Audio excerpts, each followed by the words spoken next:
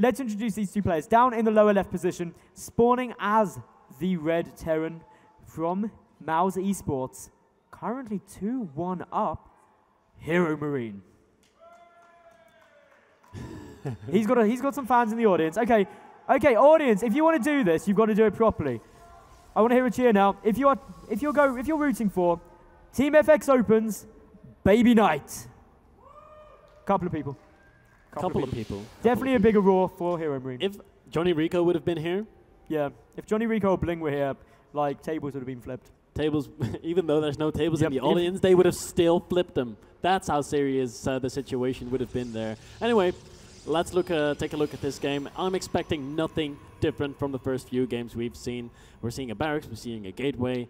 Very likely that. Oh, Baby Knights! Oh, they. He pulled all his workers there together to the same mineral patch. And if that happens at the start of the game, it's bad, but if it happens now, it's still bad. Yeah, Sick analysis. sick analysis there. It's bad no matter when it happens. Yeah. Is is Lurlian's official opinion on the matter? Well done. I ag- I agree with you hundred percent. Mm-hmm. Yeah, and unfortunately for Baby Knight, that is going to be a bit uh, one of those things where you're going to be like, oh man, I, w- I wish I would have done that right. I wish I would have done the split correctly. We're going to fe- be feeling a lot better. If But only that didn't happen. if only that didn't happen. I hope this isn't being streamed to like ten thousand people. I hope this. it's it can happen. We see Koreans do it too. I mean, Yeah. it's a, it's a very common mistake. You end up double clicking on one of your workers, and things go bad.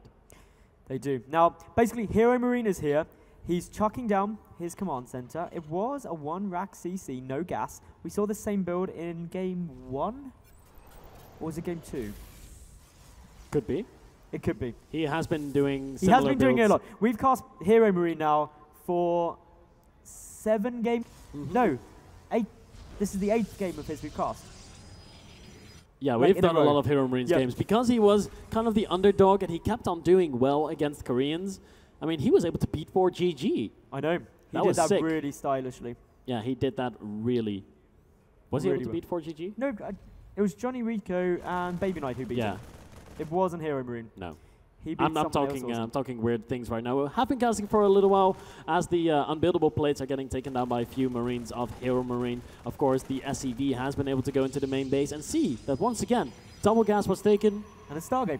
And a Stargate has been placed. But he hasn't seen that. But he's going to be assuming that it ha- is there. Well, it's a good map to do it on Daybreak because ultimately you've got a lot of dead space outside of the main. You've got another nice entrance in to the natural. The only danger is if you get kind of caught behind in the back here. There's a nice little area where you can get units trapped. Specifically, oracles are very awkward to get out from back there. Mhm. Now, the Stargate is nearly complete. We've got the additional two barracks following this up. I know there are some plays Baby Knight, uh, not Baby Knight, Hero Marine goes for, where he actually gets the one rack CC, second racks, then gas.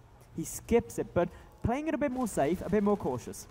Only two Marines in that bunker right now. Baby Knight is going to realize there's only two two Marines in there, but he's not going to be able to do much with that information. In comes the SCV. Wants to see, is the Nexus down yet? No, the Nexus is not that yet down, but he sees a probe coming Kill down the steal. ramp.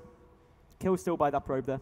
Did It he? was, yeah, it was the Stalker. Oh, that's so unfair. All the gold's going to be going to the probe and not to the more aggressive Stalker. not to the AD carry.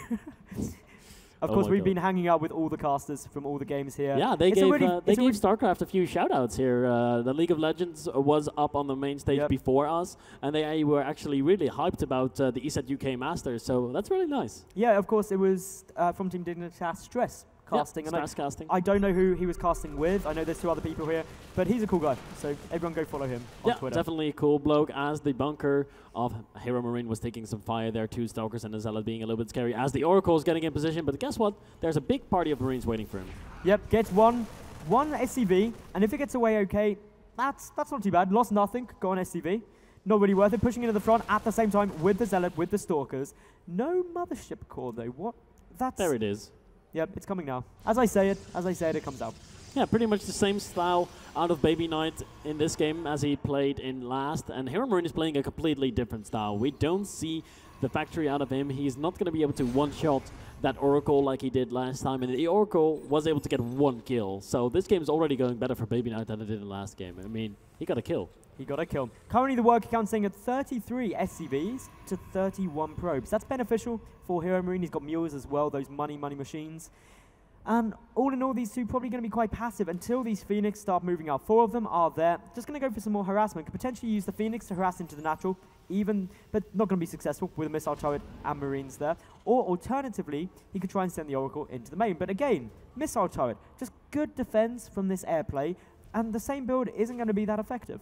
Now the Phoenix now in the main base. They do find an SCV constructing the factory and they take it out. They're going to be able to kill some good amount of SCVs here. Gonna get four in total, kill all the workers on the gas, and they kill the SCV. Constructing the factory. Constructing the factory is important. Delaying the factory. Ooh, has to be careful. Flies over the missile turret. Takes a little bit of damage on the HP of one Phoenix. Yeah, that's not a big issue. He has managed to pick off now six workers this game. That's keeping Baby Knight equal. Hero Yes. Marine, though, did expand earlier, and therefore has more workers. He's got the mules as well. Twilight Council Forge and Robo. This is an identical build to what we saw in Game 3. Completely yeah, the it same. was. Completely the same. Completely the same build coming out of uh, Baby Knight. He is gonna be going into plus one armor quickly again. Probably gonna grab charge early, and then gonna be going for as soon as he feels safe for another upgrade. As the Oracle gets taken Yeah, I just missed that. Of course, I'm doing the ops. Up here, there's no dedicated observer, unfortunately. I, I like how you took all the credit for missing that. I know, I, I, I fell on my sword. My fault, my bad, guys. But yeah, we've got now a push coming in. Good lifts, taking away some of the DPS here. But with the Photon Overcharge, it should be fine to hold this off. Not enough Mhm. really here. And Hero Marine with plus one, with Stim and no and on the way. Oh my god, what a surprise. um, of course, I wanted to point out how the Photon Overcharge really changed the Yep. game in, in favor of Protoss uh, with the introduction of the Mothership Core. Because a push like that, a push like the one Hero Marine just did, used to kill Protoss players outright because they would had, have like four sentries, a few stalkers, and a few zealots, and they had nothing to back that up. But now that big cannon, that um, planetary nexus, I believe people call it, he was able to kill that quite easily. Yep. Now, in come these Phoenix. They do have to be very careful. Flying over some Marines there, not something you ideally want to do. Behind this, the Templar Archives is done. Storm researching. We've also got Charge on its way. So Baby Knight, he loves High Templar. Hmm He's definitely in love with them. A lot more than he is with the Colossi. We have seen him go Colossus in a single game, but it was just a fake. He was like, I'm gonna make one Colossus and then make nothing but High Templar behind that. The Phoenix keeping a good eye on what's happening in the middle of the map. Hero Marine playing a very Marine heavy style, so those Phoenix are gonna have a very difficult time doing anything. They're trying to pick up the Marauder. They didn't even get a shot off, even though it was lifted in the air.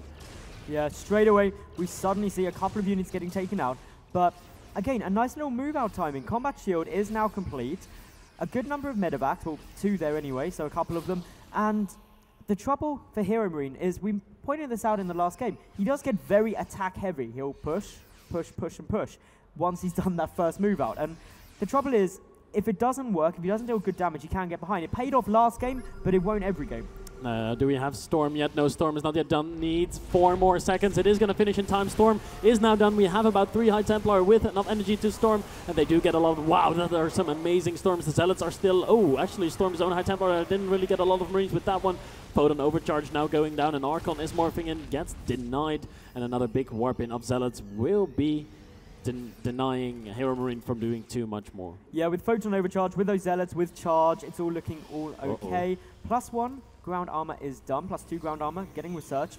You always get the armor as Protoss against Terran, especially when they're favoring Marines, just because they have a high attack speed, low damage per hit, armor scales very, very well. hmm Zealots, of course, scaling very well with armor against Marines. Mouse Hero Marine playing the exact same style as he was in last game. He is being so extremely aggressive. And Baby Knight, he is down by 30 to 40 supply. The reinforcements are now going to be joining up. Look at the massive amount of units that Hero Marine has here. This is going to be a near impossible defense for Baby Knight. I don't think he has enough for a Photon Overcharge. No, he does not. The Mothership Core is going to sacrifice itself to buy some extra time for Baby Knight to get more storms out. But he only has three High Templars, so a maximum of three storms. They're going to have to be perfect if he wants to do this. Yep, straight away we see a lot of damage being done. The Phoenix able to pick off the medevac. We saw this in a previous game. The Storm's okay. The Hellbat's dealing a nice amount of damage though.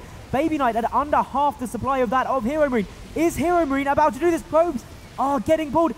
I think he's done it, Lolian. He has done it. Baby Knight at 47 supply. Desperation Zealots warping in. GG, GG. comes out. Mouse Hero Marine takes third place here at iSeries.